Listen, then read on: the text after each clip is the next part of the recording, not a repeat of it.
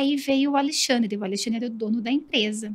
Ele, ah, você que é a Tati? Muito prazer, né? Tati, não sei o que, ó, você vai ter que vestir essa roupa aqui. Putz.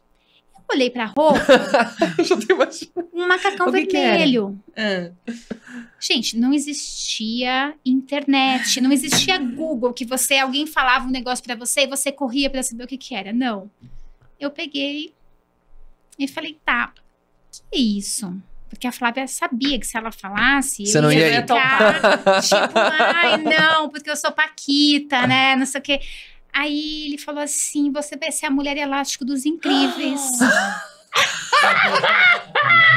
Era aquela roupa de lycra que subia tudo Aquela que, que, que- E aí?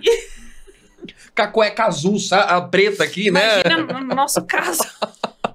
Eu olhei e falei assim, tá, mas quem é a mulher elástico dos incríveis?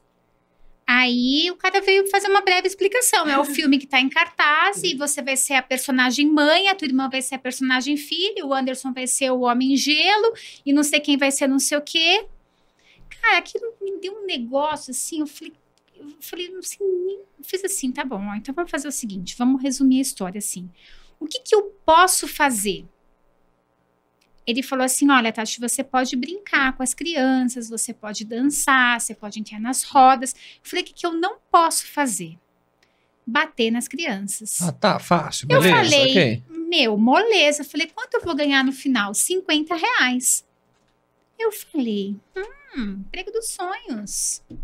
Fui lá, coloquei o macacão de Mulher Elástica dos Incríveis e fui pra festa. E eu sou daquelas assim, gente, quando tá na merda, vamos então a Vamos gente lá, agitar a merda. Vai- Aqui, ó.